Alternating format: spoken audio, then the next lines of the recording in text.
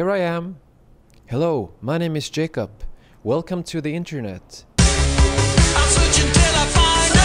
We need you, the general public, to determine the final 12 songs to be released on Devo's next album.